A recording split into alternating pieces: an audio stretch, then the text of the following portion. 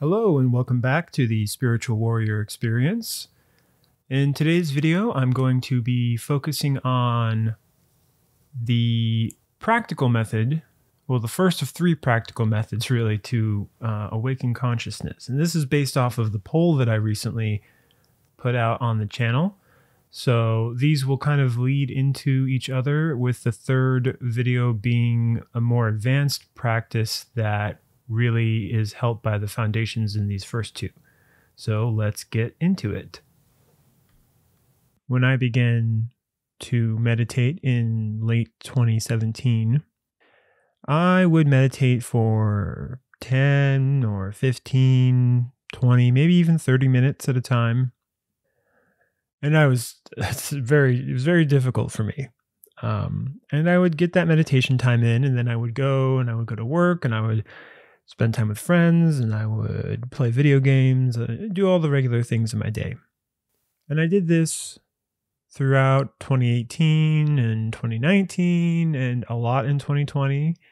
Um, I spent a lot more time meditating more and more in that time and even further in 2021, although I would occasionally fall out of the habit.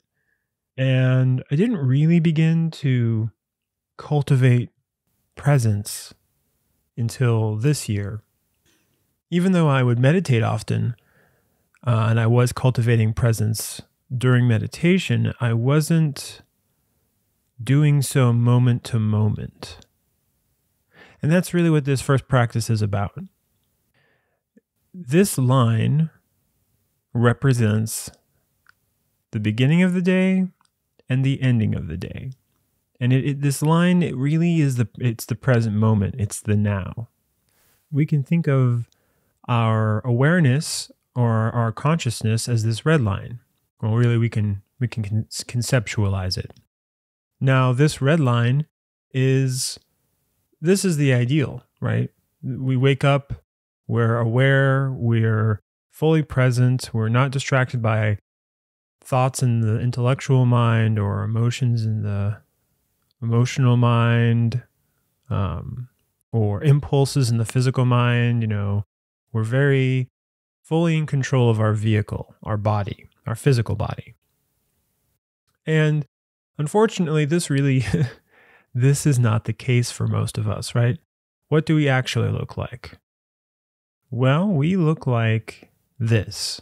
Our thoughts, the moment we wake up, we go from you know, first thought, and then that kind of leads into a second thought, and that leads into a third, and a fourth thought, and a fifth thought, and a sixth thought.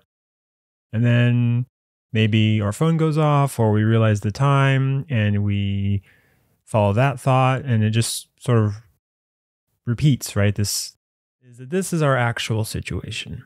We are just carried away by a river of thoughts. And this is why you know, as above, so below. This is why we dream in this way. If you have been keeping a dream journal and you've been starting to remember more and more of your dreams, you'll notice that dreams operate in the same way where we go, Oh yeah, I was having a this dream and then this was thing was happening and then that thing was happening and this and that and then you know it just it flows like this but of course in the astral because this is that the astral dimension is beyond time and space just like how thoughts are, uh, the dreams, like thoughts and emotion, dreams can shift from one direction to the other almost, you know, instantaneously. So how do we how do we fix this? It starts by struggling to stay aware. You can see on this chart, in this graphic, that the red line drifts off. We have a few thoughts. And then this person remembers, oh, I need to be present. I need to be in the now. I was distracted and returns back to the line of presence and, you know, is aware and present for a little while and then drifts off, has one, two, three, maybe even four thoughts, and then goes, oh, distracted again, thinking about whatever, back to the present moment. And then in this third segment here, we have a little more, a little more presence, a little more in the now. And then drifts off into thoughts and back again, and then present, then drifts off and back again. And then there's a real brief little, in this last segment here, there's a little brief drift off and then back to the present. And then, you know, it continues into maybe the end of the day. Maybe this is a meditation session at the end of the day, even if you want to think of it that way. But really, meditation should extend into our entire being, our entire day.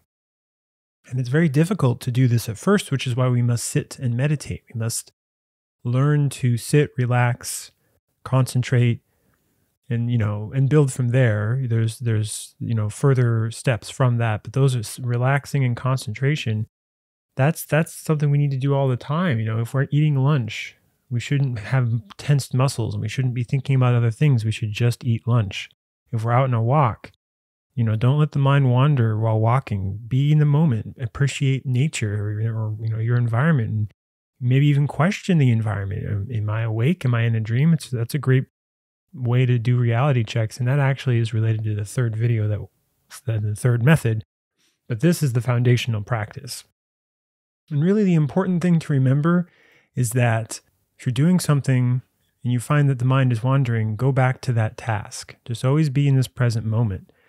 You know, we have those moments in life where maybe we almost get into we get into a fender bender or a near a near miss into a car accident and it shocks us into awareness. And and that present moment is more vivid and more aware more alive than you know any moment before that. Even if we might be terrified or afraid it, we're very aware and present. And that is a really good little you know reminder to be present so that you know that's what it should be like outside of the, the ego of fear and, and all those things just but that vivid aw- awakeness is what we're attempting to cultivate with this practice and you will cultivate it with time and so, of course, what does it look like after some time of doing this practice, maybe months or weeks?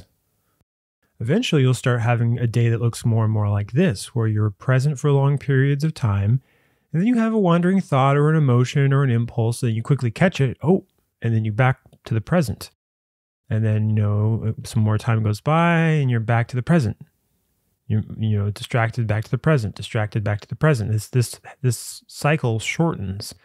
And this takes many months and even in years honestly to really you know get to this point even i'm really only only starting to get to this point and i've been practicing this particular method now for about seven or so months um, it really takes a lot of effort. And not every day will be exactly like you know the same. Some days will be you'll you'll forget and you'll um, just become distracted by thoughts and emotions for several minutes or maybe even hours, and then you know catch yourself like, you know, like almost like noticing that there's a snake in your lap suddenly, like oh whoops, oh no, I should be present. You know, it it should be like that. It should be like a a sudden oh no moment when we realize that we're not present, and that's not to say we should be afraid or we should be you know fearful of it we should simply just be vigilant like like warriors and when we notice that an enemy has infiltrated our castle, you know, an ego has infiltrated our intellectual mind, our emotional mind, our physical mind, our castle,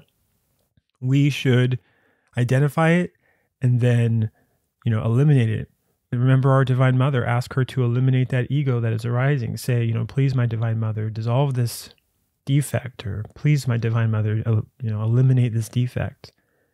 And of course, um, practicing alchemy or transmutation, pranayama will help immensely with this in addition. So, the three minds. Remember, we have an intellectual, an emotional, and then as you can see in the red here, this is the physical mind. And the physical mind is made up of the motor, instinctual, and sexual mind. Now we know that if someone has a severe neck injury, they can be paralyzed from the neck down. That's because that's where the motor mind is located, and that does connect to our chakra network as well. But this mind is is very deeply connected to the instinctual and the sexual minds as, as well. And really the whole system is sort of interconnected, but these three minds in, in particular are very connected. If you find yourself overwhelmed by lots of thoughts, you know, flowing thoughts and emotions. The important thing is to prioritize one thing at a time and focus on each thing only. So, you know, if you know that you have to do five things, get th- three to five things done, focus on the first one and only think about that one.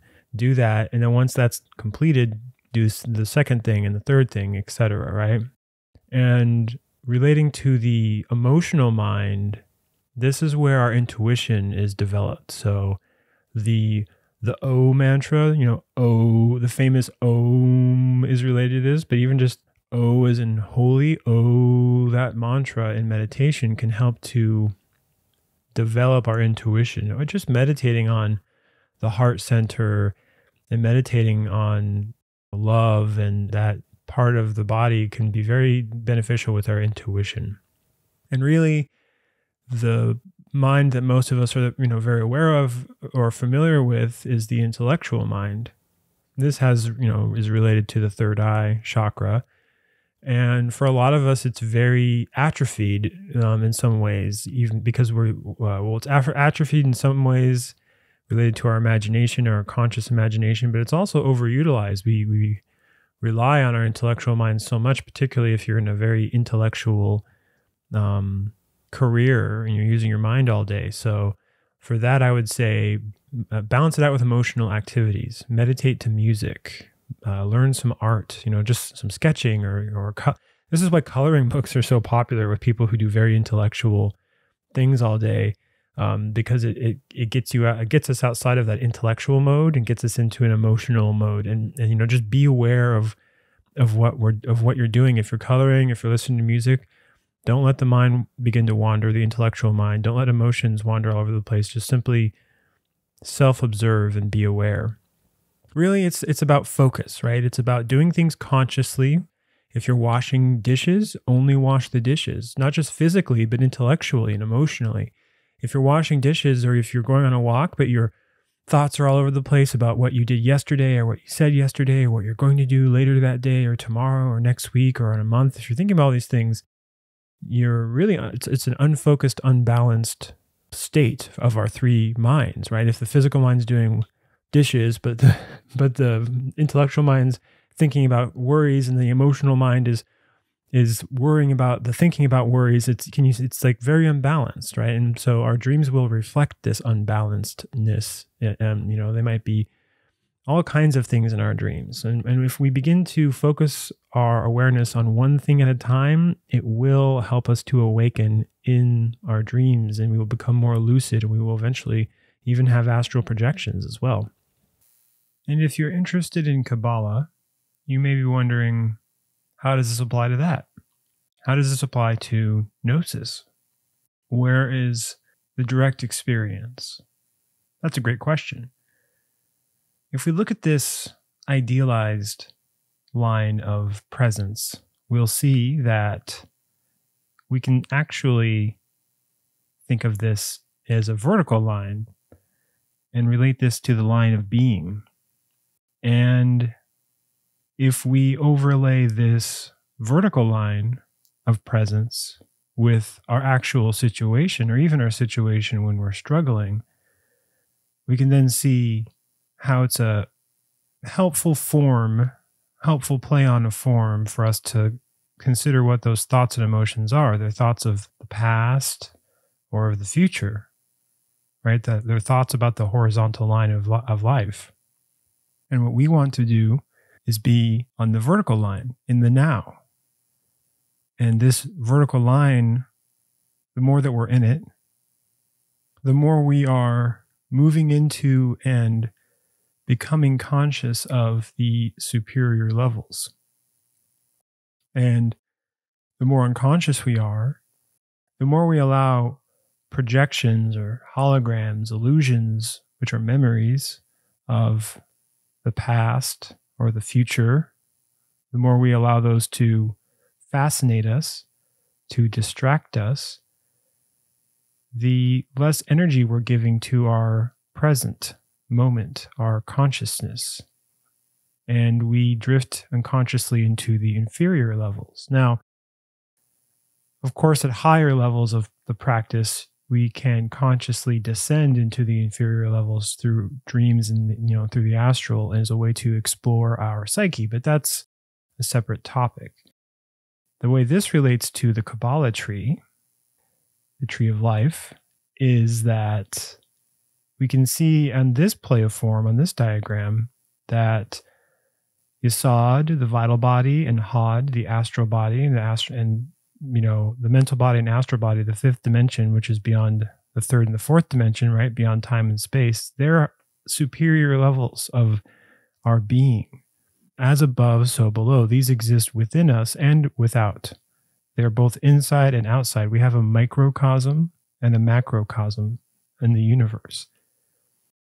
And so that's how this practice directly relates to Kabbalah at a very simple level. And this is, of course, simply, you know, a basic play on form on instruction, but by being in the present, by, you know, by working on being in the present, we begin to awaken in the astral. This practice, you know, it, it takes a long time to go from 0% or 3% consciousness to 100% consciousness. There's a lot of things to work on, being in the present, dissolving egos, etc.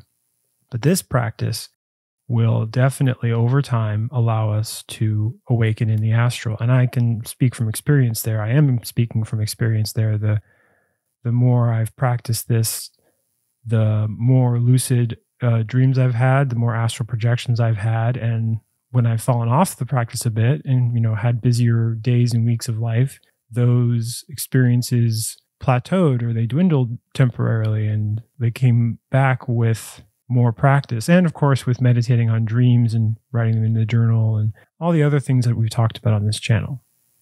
That's it for this particular practice. Feel free to ask questions in the comments. I will answer them all to the best of my ability. There's a, there's quite a lot here, I understand, but this was a very foundational practice as well. And if you want to have even longer conversations, um, with the other members of the Patreon Discord community. Feel free to uh, join us there. Your support is most appreciated. And actually, just a quick thanks to um, Kakashi Hatake, uh, uh, uh, our newest member. I, you know, actually in not too a distant past, uh, I'm also have I enjoy Naruto, so that's a that was a fun surprise. Um, I believe Brody as well would be maybe a more appropriate name. Thank you for your support. And I look forward to the next video where we will be talking about a practical method of balancing moods. And I will link the two videos that this practice and that practice are based off where I originally learned them. Um, that's the Three Mountains YouTube channel. Uh, I'll link that in the description below, as well as any other helpful material or links related to this practice. Until next time, thank you for watching.